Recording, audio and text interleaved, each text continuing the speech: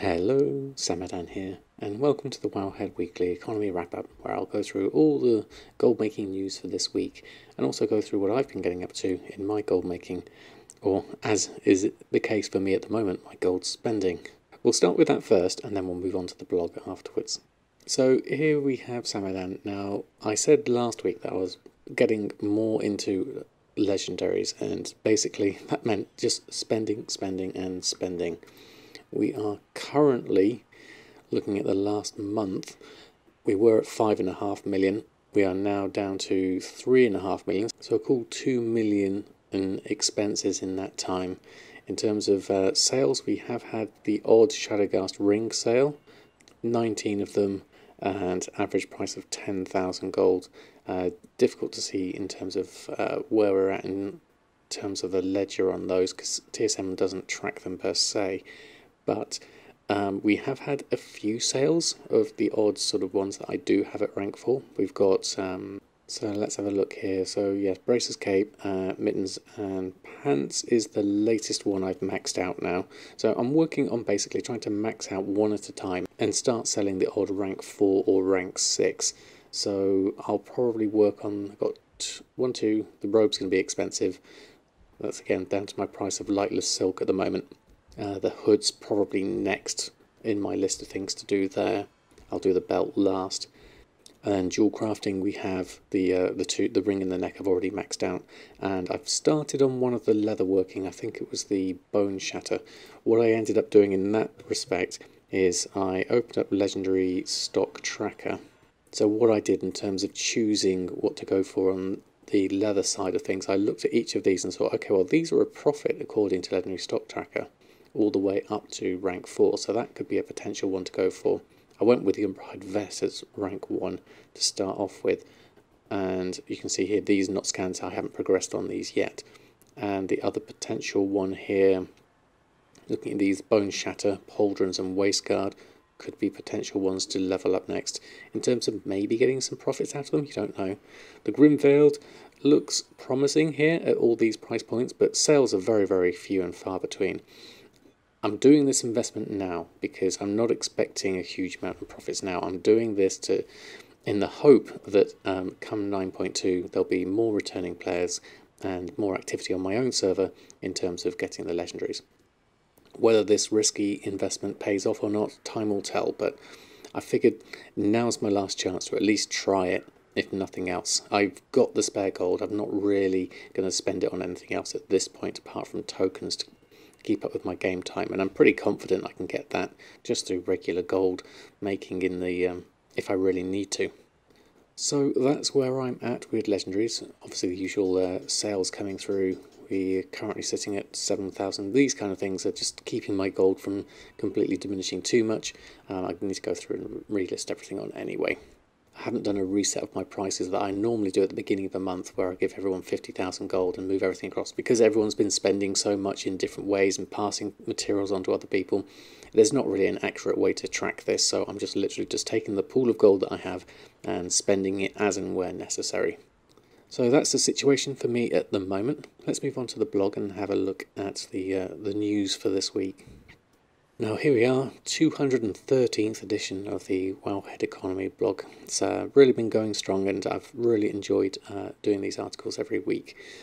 And this week in particular there's a couple of really big news items, one of which doesn't really affect gold making per se, and that's the announcement of uh, cross-faction dungeoning and Mythic Plus and all that um, in 9.2.5, which is music to my ears. This is what I've always wanted in a PvE scenario. I want be players to be able to choose who they play with.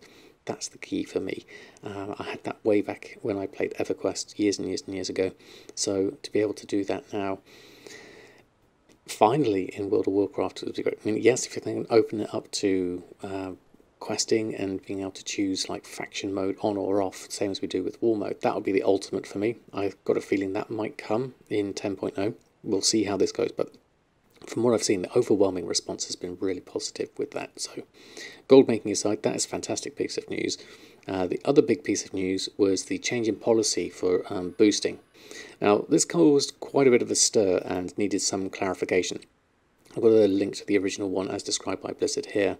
Um, there's a couple of excerpts that I um, have uh, taken out here. One here was the clarifications. So basically what they're trying to clamp down on is organisations who disruptively advertise across all realms and establish escrow services um, are the primary target of this policy update. So basically, they're saying yes, guilds and individuals who are inviting players from other realms to join them in traditional game activities in exchange for gold are allowed, and as they were before. But this strikes me a lot of what happened with multiboxing. With multiboxing, they said um, use of software is not allowed. Multiboxing itself is allowed, and there may be a player led ban wave in for want of a better word in terms of um, anyone seeing this kind of activity might clap, want to clap down on it themselves. I don't know whether this is going to happen with regards to boosting because um, maybe it's a bit of a fairer system. So that was one of the concerns. And then the other side of things is all this gold that has been moving around uh, different realms. What's going to happen to that? This was a fairly big scale uh, operation. I mean, uh, we covered it before, um, way back in April last year. Um, Jack and uh, did the uh, Auction House podcast um, interview with the booster, and you could see just quite how big these these communities were. Now, what's going to happen here? I don't know. What's going to happen to all the gold, and will it affect gold making in general in terms of okay, so what's going to happen with those that were using the gold that they made through boosting to um, buy things like transmog or things like that that we're trying to sell as regular gold makers? Uh, so it's going to be interesting. I have a feeling that it's probably not going to affect day to day gold making with professionals and farming and what have you because there's always going to be the, the casual player base, the um, the collectors that aren't involved in the boosting side of things. I mean, I myself have never been involved in boosting. I've never boosted or been a boostee. Um, so, as myself, as a uh, sample size of one, it's not very scientific, I know, but um, I can say that it's not really going to affect me in any way, but it may affect people who are my customers. Uh, this was discussed on the, the Reddit as always, and so uh, there's a few responses I've included here. Uh, Chaotic Neutral um, was worried about sort of the faction imbalance and things on uh, lower population servers. What with the announcement of 9.2.5, I don't think this is necessarily going to be a problem. Uh, the concern here is one of the unintended side effects um, of people taking it upon themselves to just report in mass people that are advertising in trade chat, even if they are following the new rules. So this was my concern, a bit like with the multi-boxing. I'm not sure how this is going to be treated. I mean, obviously, yes, um, less trade chat spam is always nice. I mean, I don't use it myself, but I know a lot of people do. Perhaps one of the reasons I have avoided it is because of uh, all the spam in there. But then you tend to get a lot of spam anyway. Uh, and here we have, um, much like we had a friend experience harassment simply because there were duo boxing in the world um, with gathering after the changes to multi-boxing. This is, this is where my concern lies. Um, is there going to be a blanket player-led targeting of um, people that they deem to be breaking the rules? Um, I don't know. There is a concern that all this kind of thing will go underground and um, it'll be moved away from the game and all the transactions will happen outside of the game, which obviously leads to further uh, discrepancies with real money transactions and stuff like that. So something that they're probably aware of, but I think the main thing here is trying to get it out of trade chat seemed to be Blizzard's main focus. Uh, Dirty Irby uh, feels that it's been coming for a while, but like the trade chat spam was overwhelming, and the player base was getting sick of it. Um, that being said, individual guilds still be running boosts, especially the top guilds that need the funding to bankroll the next tier. This I can imagine being a thing, uh, probably a bit more, a bit more feasible by the the big guilds. Perhaps the uh, the big guilds on each particular server will at least be able to say, okay, well we're a big reputable guild. Um, you can come through us. We'll invite you in, and uh, we'll take you through. And that's probably done on a player by player basis with less of the advertising. Um, Aaron Instancy is talking about um, impact escrow communities, about things like the black market auction house, which I believe, uh, according to the Blizzard's um, clarification, um, this is that includes um, everything. So it's uh, specifically said here. So I imagine we'll see perhaps some good deals on the black market auction house um, because that was a, a thing as well. So in general, the consensus does seem to be that removing the trade spam is a good thing if individuals and or guilds can still do boosting themselves and still and still allow the gold to flow between those players, then I think that I can see as a good thing. Um, genuine concern that operation will move more underground and off-site, which could lead to further concerns of RMT being involved. Um, we'll see what we we'll see what happens with that. Uh, in general, I see what they're trying to do. They did say, you know, to further our goal of making the gameplay experience as fair and welcoming as possible. That that's the focus, really. You know, they want they want people to enjoy the game overall. And if things like this are starting to impact on other players' enjoyment of the game, then I can see Blizzard taking a hard line and saying, okay, well, well, none of that. We're going to do it this way. This does raise a interesting uh, question on my point. I mean, in terms of fair and welcoming, will that go across to other things like, say, we use uh, Trade Skill Master? Do other people consider that unfair? I mean, it is available to all, and I, as a uh, as a content creator, trying to make it as accessible to all.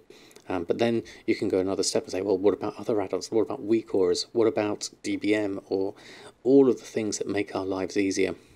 Is that a fair and way to play the game? Do we all go default UI with no add-ons? I don't think, really don't think that's. I'm not suggesting that in the slightest, and I don't think that's going to happen. But it does, it does raise the question. I mean, obviously, I can see I can see this as you know the focus, and I'm all for that. And I think that is part of our responsibility as players, as well as Blizzard's responsibility is trying to engineer the game and setting aside rules so that um, so that most people have a good experience with the game. And following up from that, Manthias has a great video just going through his opinions uh, on the matter. So goes through a lot of we talk, a lot of what we talked about here, but also what it is and what it isn't. Um, so if you want that in video format, I highly recommend giving that video a watch as well. So that was the main news uh, this week the, the one particularly in this case uh, to do with gold making. Now another thing that crept in on the notes on uh, the PTR, which a lot of people wouldn't have noticed, but us gold makers definitely noticed, and that's the skinning changes on the PTR. On the developer notes, this was very, very interesting to see. So many skinnable, mineable and gatherable enemies can now be skinned, mined and gathered by all the players who engage with the enemy and have the correct gathering skill. So in order to make skinning, and that includes mining and herb gathering from enemies, particularly enemies here, um, a more group-friendly experience. So this is this is the thing here, a more group-friendly experience. We've adjusted the skinning rules. Majority of skinning enemies will now uh, follow the normal tapping rules and be skinned by everyone who engaged with them and has the ability to skin them. Uh, some weak and very specific enemies will still only be skinned once, maybe that is something to do with stopping things being mass skinned. Um, we'll, we'll learn more about that as time goes on. And with the rare and powerful ones be skinnable by everyone who engages them. So that's definitely, I can see, a good thing rather than picking just one person to be able to skin. So I think that's a good thing overall. But we don't know exactly how this is going to be implemented because um, the question arises here, uh, depending on how this works in practice. So the first question here is, will you still be able to skin a mob even if you haven't uh, done the actual uh, normal tapping rules? Because what happens quite often is I'll be running around say Korthia and people will be doing world quests where loads of the uh, beasts have been killed and nobody has bothered to skin them. And I can come along and I can skin the mobs afterwards the question raises here is is that still going to be possible? Or maybe is it going to be possible after a certain amount of time? So that would be one of the things that might balance or imbalance the system. And then the other thing is, okay, what's going to happen? Are we going to have suddenly more two by four groups, like like we had during B, in BFA, where uh, that was really in its peak?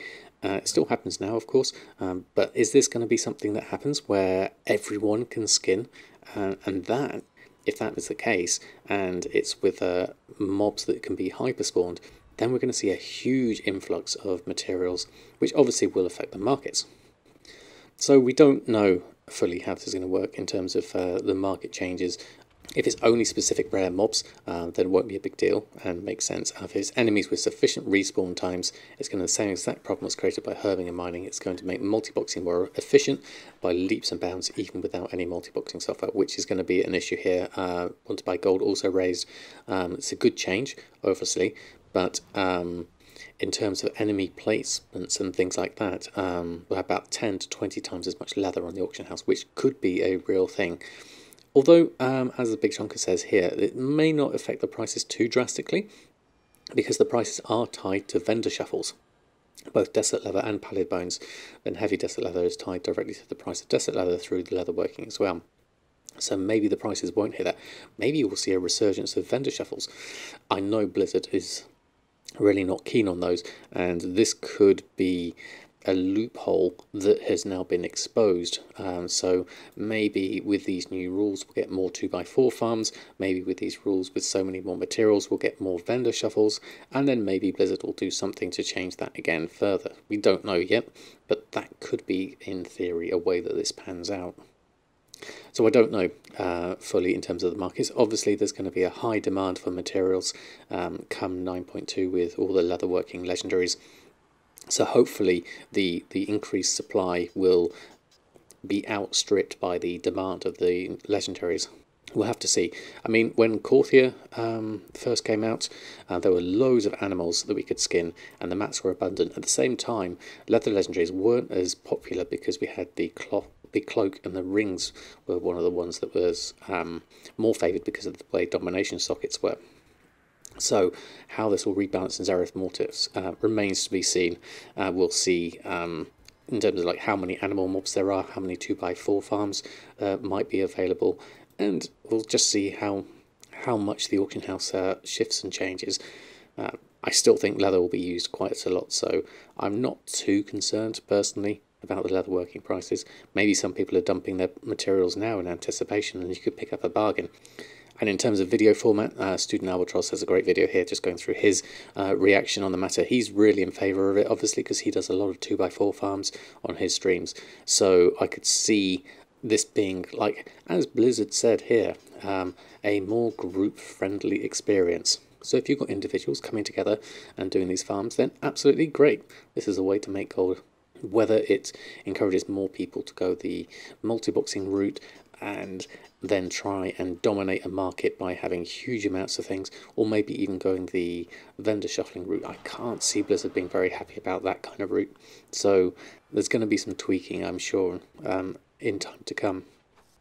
One of the other things that was on the PTR that Vardis pointed out on uh, Twitter this week was a confirmation box for unique equipped items. So uh, just to let you know that uh, if you're buying an item that's unique equipped, um, you get a little confirmation box. So that's a nice little quality of life improvement, I think, uh, just to avoid the confusion, especially because we'll still have these um, with the new gear coming in 9.2 uh, with the unique equipped in the in the crafters marks of the eternal. So still lots of uh, interesting things coming up in 9.2. It's going to shift and change the markets. I got a feeling I'm going to see a lot of people returning um, with both 9.2 and in the future when 9.2.5 comes out with the with the cross faction partying up and everything. So interesting times ahead. Um, there's going to be a shift in markets certainly. Whatever we can do to make gold, I'll be keeping on top of it as we, as always here on the WoW Economy blog. One final thing is uh, DalloGG has been updating the Worth It Guides add-on. So this isn't necessarily uh, updates that are particular to gold making, but um, this does include um, a guide for leveling every profession and expansion. It also now has guides for gaining reputation and also collecting mounts, which is really nice for the collectors among us. So this isn't necessarily all gold making improvements, but uh, gaining reputation, as we know, will be needed for recipes anyway. So if you're going that route and using something like all the things, highly recommend getting hold of this add-on as well as all the things, and then you'll never be bored in WoW again. It's always something to do when you're going for these big collections. So that pretty much wraps up the blog for this week. I hope you found that enjoyable. Um, there's a bit of something for everyone. Uh, a lot of this stuff we just don't know how it's going to work out in the markets with the skinning and the boosting bands. So uh, time will tell, certainly. So that's it from me for gold making this week. Good luck if you are getting into legendaries for the first time, or expanding on your empire, or doing something completely un-legendary related like commission tables or things like that. Whatever you're doing to make gold. Happy gold making, and I'll see you very soon.